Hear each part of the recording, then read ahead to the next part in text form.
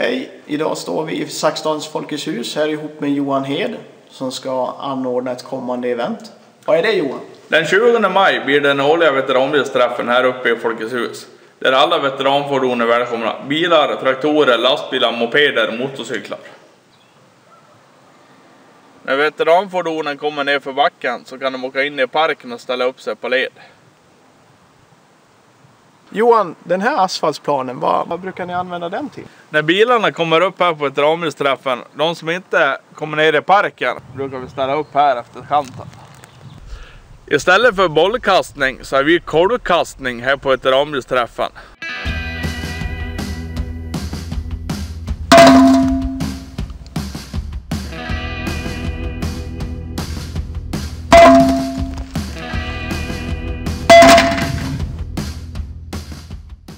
Så Johan, händer det någonting mer under dagen?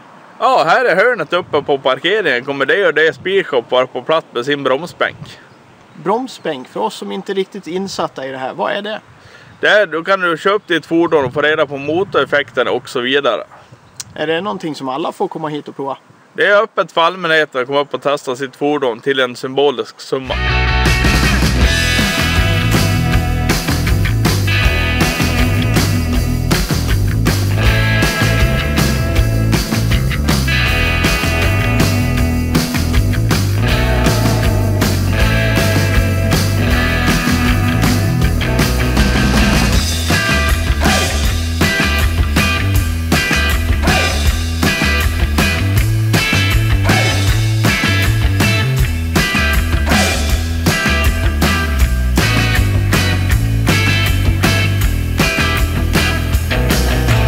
Vi kommer ha servering av hamburgare, korv, kaffe, läsk, lotterihjul och kolvkastning. Så den här träffen passar alla åldrar att besöka.